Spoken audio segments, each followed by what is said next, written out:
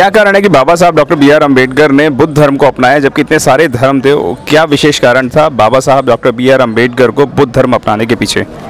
देखिए हमें क्या चाहिए था? हमें चाहिए थी स्वतंत्रता। हमें चाहिए था भाईचारा। हमें चाहिए करुणा।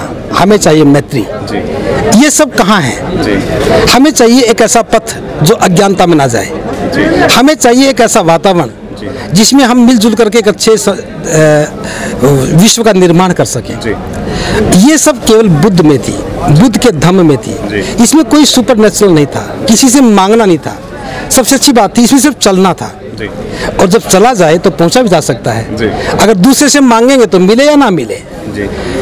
बुद्ध ने कहा है दुनिया के दूसरे धर्मों का केंद्र कोई सुपर पावर है। लेकिन मेरे धर्म का केंद्र केवल मनुष्य है।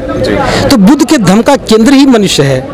तो बाबा साहब ने मनुष्य को ही सुंदर बनाना है ये विचार रख करके केवल बुद्ध के मार्ग को चुना। अगर आपने अभी तक हमारा चैनल सब्सक्राइब नहीं किया है तो सब्सक्राइब करें और घंटी का बटन बिल्कुल भी दबाना ना भूलें ताकि सभी लेटेस्ट खबरें पहुँच सकें आप पे सबसे पहले।